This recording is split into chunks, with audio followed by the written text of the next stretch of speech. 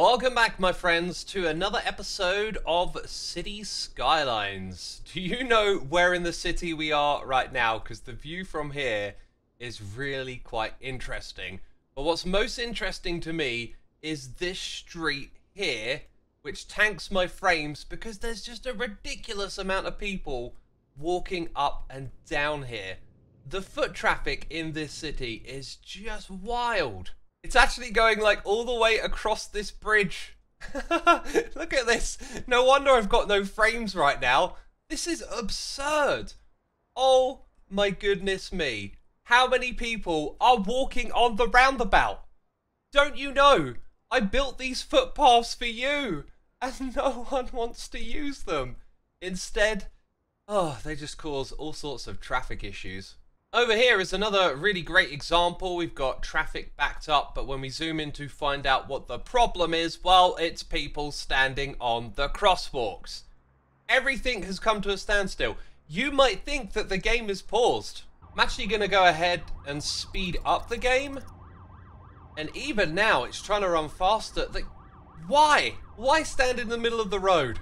This is definitely my number one pet peeve because this city has problems like this rocking truck down here. Oh my god, like we got multiple rocking trucks? Dang, what's going on there? Whenever I get to the source of the city's woes, it's stuff like this, foot traffic just causing a problem, and then the traffic just getting completely jammed. When we zoom out, you'll see that we have problems galore. The biggest one though is that trash is piling up all over the city.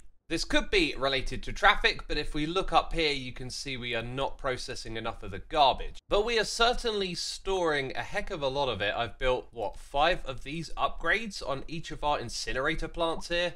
Ah, and that's right, I built another incinerator plant, but for some reason I decided to turn this one off. So let's turn that on. Let's try and get on top of this garbage problem. Okay, I decided to double up, which means we've got a lot of trucks heading out of here. What's the betting though they get caught in all of that traffic? So I've tried to find out where the trucks are going and our city is really falling apart at the beginning of this episode. Look, waiting for a hearse, crime scenes, oh dear. So I'm going to go around and take care of a few of these traffic issues. Hopefully that will let the garbage trucks and the police through and sort out all of these issues. But while I do that, I want to let you know that all of the other episodes you've watched in this series were actually recorded before the game was publicly released. I decided I just want to have some fun, playing and recording, made a ton of episodes, and then I had a bunch of stuff come off. Like I went on a holiday, I came back from the holiday, I got sick, hadn't been able to record another episode until now, and that means that a couple of patches have released. So, since I've updated the city and let it run for a little while, the dynamics of the city has completely changed, which is why we've just got these insane issues everywhere. You might remember that we had big problems with our postal issues. Well, that's been fixed because it turns out that it was getting piled up over here at our cargo, which was a bug because somewhere in this list it can actually store your post. Ah, there it is, local mail. So yeah, this all just came down to a bug, which probably means I've got way too many postal services in the city. So we have this post office. Next door is the post sorting facility, which sorting speed is in the red. Over in the North Services spot, we built two post offices to try and deal with this issue. And then there's another one on the Northwest Services. And because our mail service availability is not doing too good, I'm going to build yet another one up in this space. And this is the area that I wanted to develop next, but first of all, we've got to get on top of these issues. And it really does feel like it's just you know, these pedestrian problems, and most of it is caused by this city, which I think was too high of a density for the sort of traffic connections that it has around it. So it's no surprise this is a hotspot for problems because it's where all of the traffic jams pop up. What's this? A flourishing metropolis? Things must be going good, right? And the issues with our gorgeous city have been fixed. That's what I would like to tell you, but that wouldn't be the truth. We've made some headway, but here's the thing. I've built two more incinerator plants and immediately they've filled up. And if we look at the trucks that are in use, it's 0 out of 20. So let's go ahead and build a storage extension. That means that we can have more stored garbage And then we should see some trucks coming out. Aha, that one's making its way. Look, there's a bunch more over here. Yeah, now the trucks are going out to pick up the garbage. So the problem is we can't burn it fast enough, okay? It's not about the amount of trucks, it's just that it fills up this thing and we don't get rid of it quick enough. Oh, and you might have noticed that I've like zoned some of the areas here. I was doing some planning for the future, and I don't want my industrial area down here just to be full of incinerator plants. Oh yeah, and we'll come back to this in just a second. So, purchase some of the mainland over here. We're basically going to build an absolute chunk of incinerator plants over here. So we're going to need another bridge that goes alongside this one, and I think I found the perfect spot. And with some road upgrades, we're going to put a bridge over here. I think I'll do away with that diagonal road for now. Oh, and yeah, I have the Golden Gate Bridge. Um, should we build that over here? This might be a bit excessive. It's possible, but it took me some tinkering. You need 33 meters of elevation to make this possible. So I decided to have a little fun here and bring the edge of the road out to the water, change the terrain a tiny bit, and then I built six of these things. Also, there's a giant fire off in the distance. Um, I was about to say you wouldn't know it. If you zoom in, yeah, look, there's little bits of fire among the trees. Kind of looks like less of a deal than the icons are making it out to be, although this, this right here is pretty nasty. Right, this is the game of endless distractions, and some of you would probably say that this is kind of silly. The thing is, it feels to me like the game is being kind of silly that these incinerator plants can't keep up, but we'll try and match its pace and see what we can do. So we've enabled all of them, then I'm going to put an upgrade on each of these, and when you want to do that, you've got to select each individual building, which I find kind of odd, because you could just, you know, click on each of them one by one, but nope, that ain't the way it works. So now these things are going to go and start incinerating. Although we have an issue here, I thought I connected up all of the pipes. Oh no, it's a sewage treatment and water availability issue. It really feels like just a minute ago I built an extra one of these, and now we need another one. And then there's the poopy water issue, which also never seems to go away. In a different city of mine, I built these wastewater treatment plants, and it feels like you can never stop your city from creating this stuff. Anyways, we'll now find out that literally seconds later, I mean, I haven't exactly left the game running or anything, this stuff is already filling up. It's just ridiculous. It can't burn it away fast enough. I ain't messing around, man. I built another four of these. No joke, we are really going to try and incinerate all of the trash. And seconds after I've built it, I've noticed that the stored garbage has piled up immediately it's clear that the game is just simulating stuff and the simulation is not going well. Also, we got a backed up sewer. yeah, I, like there, there hasn't been big jump cuts here. Okay, uh, where's the water pumping station? Like, I need another one now. And now I got more sewage to treat. Right, and placing two of those barely did the job. So another one here, back over there, another pumping station, Okay, let's go and talk about the other thing that I did in the city to try and help with all of this, which was to reduce traffic by introducing some public transport. This cost me uh, six of our development points. We've actually got loads of these available, so I've unlocked the subway. And the only place on the island I really had for the subway station was over here.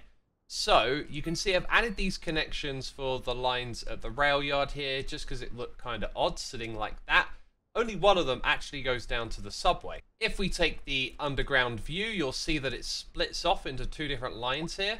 And that's because I've created two of these subway lines and we don't have a lot of passengers. I've even turned the price down. The way I decided to set the first subway up was to put these stops in the middle of the blocks. So our buses run along the arteries between the areas.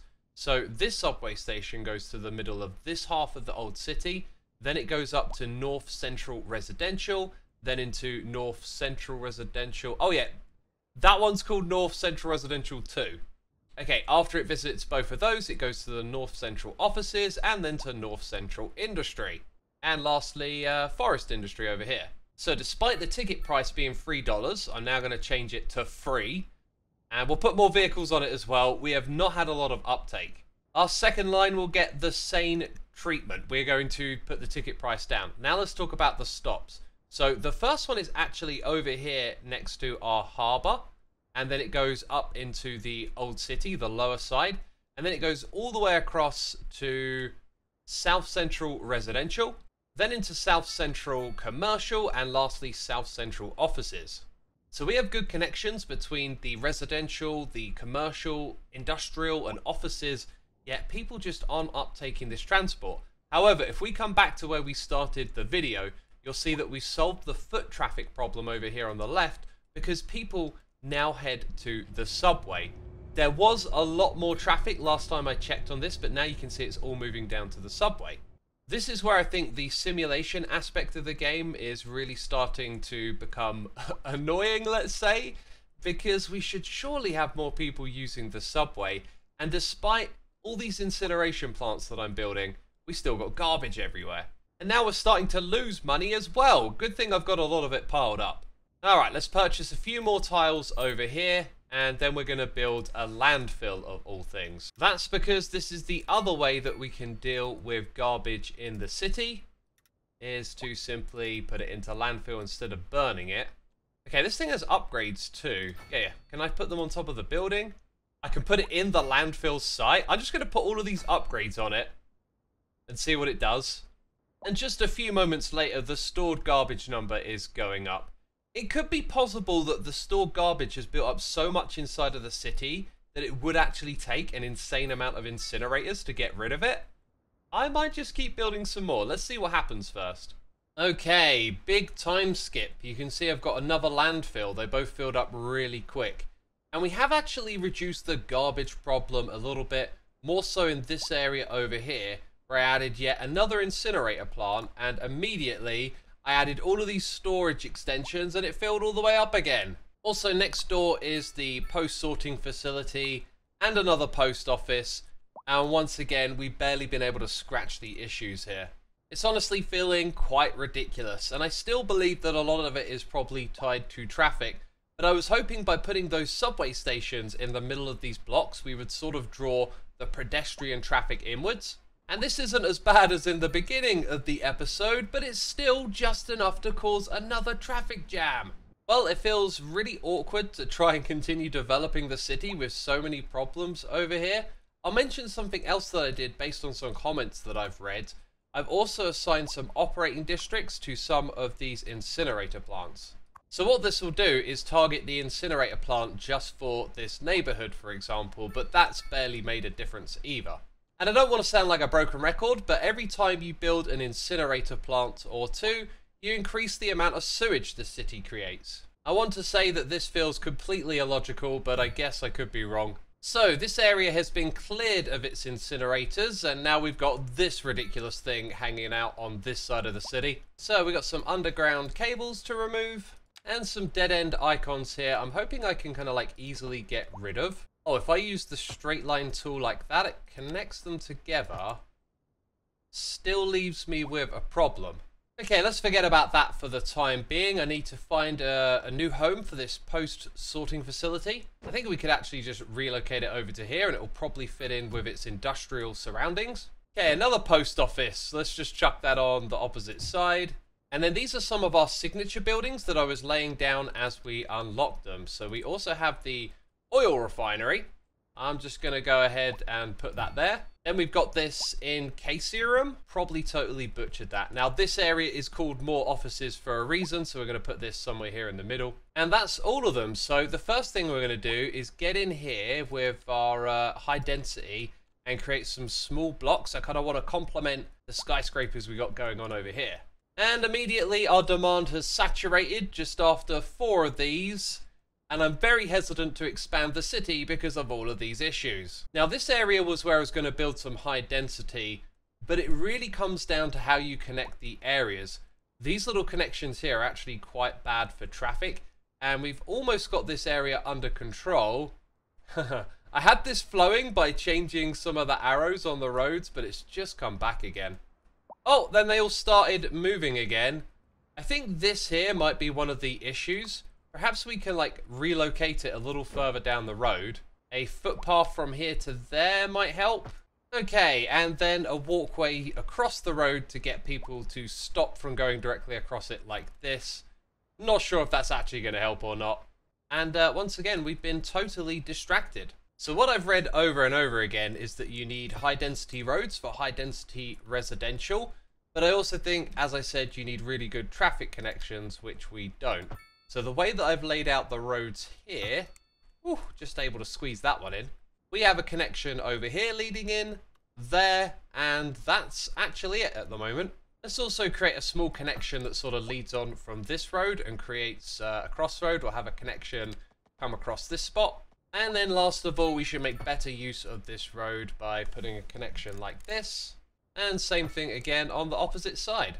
Actually, I've got to say these four-way crossroads can be pretty awkward. So maybe on this side, yeah, we'll create a connection like that and get rid of this one.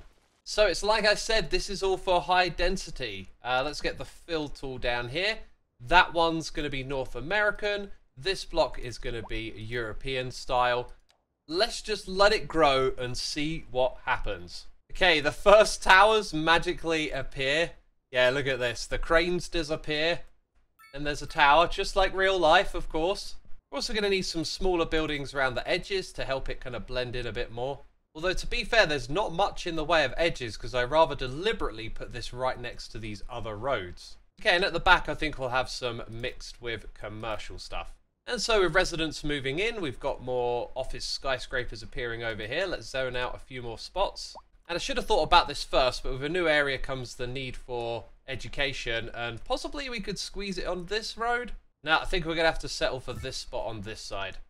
I think now is a good time to mention that some of the unlocks here have city-wide effects. Let's go and grab the City Hall and the Central Bank. One of these addresses an issue I found in the industrial area. It's mostly seemed to have gone away, but that's it. High resource costs. So now in the administration tab, we have the City Hall and the Central Bank. This one lowers import costs and increase exports. So this is one of the things with this game. As you progress and you unlock more and more stuff, it increases the efficiency of your city.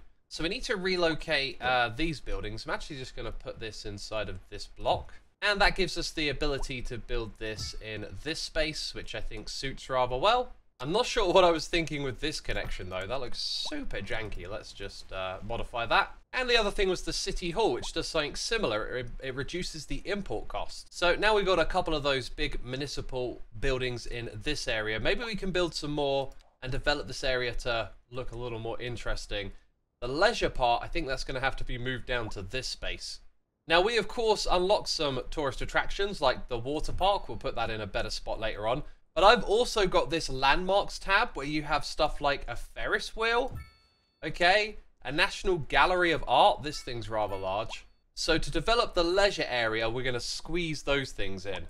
While it is no surprise to see that we have uh, traffic issues, although we do only have a couple of connections, the traffic's backed up all the way around the corner. This is not the way to plan for high density, really, is it? Oh, and immediately we've got just crime scenes everywhere. So, leaping ahead in time once again, I'm starting to feel the pinch of this game as we got problems in our new area. I kind of just want to look at the city without all of these bubbles anywhere. And it's really nice over here because there's not many of them in this new area, which is north-south residential. So, I've extended this strip down here with a nice road and then lots of little smaller ones and tons of housing. There's the occasional commercial shop and a couple of facilities down here. The whole thing looks really cool. I love the way that it's filled out this area. This bit though was a little tricky to figure out. I moved over the city hall and then I put some of these uh, slightly bigger buildings around the edges here and it worked out pretty decent. There's a path across here and uh, well what's this? Livestock, yes. So earlier in the series, we did some experiments over here on fertile land, which was actually not what we needed for livestock, but you do need it for grain. So when we look at specialized industry, livestock farming and stone mining are ones that you can actually do anywhere. And so I didn't need to build these there, so thanks for pointing that out. I, I'm just going to put this in here to fill in the space. Honestly, it doesn't really look like it fits, but it's nice to just break up the grass which is something that this game is lacking. Anyway, I want to turn our attention to the industrial area now. I was hoping that creating these houses would create some industrial demand, but as you can see, we got absolutely none. Northwest Residential. No, wait, just just west residential. I, I noticed that I called this one over here north-south. Not sure if I said that in the video because I gave it its correct name. It should have actually been northwest. And I've decided to extend some of the housing into this area because I'm just trying to jostle some more industrial demand at the moment. So we'll have a few plots in this space. So yeah, with some new residents moving in, I've seen the industrial demand pop up and then go back down again. So we should have a few more things developing. Oh my god, big lag spike. I guess we can now call this West Industrial. And I struggled to fill this out with some interesting buildings other than just putting stuff alongside the roads. So I went and built four of these wastewater treatment facilities. And based on this chart over here, I think that means we need less sewage outlets now. And as you can see, this has become a problem for the nearby residents and a problem for us in the future because once the water comes around here, this is where we're getting our clean drinking water from. Okay, all but two have been turned off and we're still in the green. Do I dare turn all of them off? It looks like the four of these are going to meet the demand for the whole city. That's kind of fascinating. I also uh, built an industrial waste processing site over here, just looking for something to fill in the space, aesthetically speaking, which is why I built this raised wall around it, which is a road. Ah, looks like that bit got away with it. Oh well. So that's the industrial bit taken care of. Now we kind of want to look at leisure. And this is kind of it, my friends, the finishing touch on the city. I love how built up this middle bit here is, and then it flattens out. And then we get a big lag spike. That was actually a game crash, and luckily for me, I just stepped away from the computer for a little bit, as I wanted to let some of the demand fill in. So we're exactly where we were a moment ago. That's terrific. The demand that we don't have is the offices just to fill in this space here. So use your imagination, because this is kind of it. And really, we need to pop into this view to enjoy it all. I was able to squeeze in this art gallery here, which actually looks like the one in New York City. I think it's probably modeled on that. And yeah, we got a whole row of entertainments and gardens, and then a big shopping area just in the corner here, perfectly aligned with the Ferris wheel, a big car park in this spot over here, some more shops, and it just turned out looking so good. It'll probably look even better when these trees grow up as well. That's one of the things about this game I was a little disappointed with.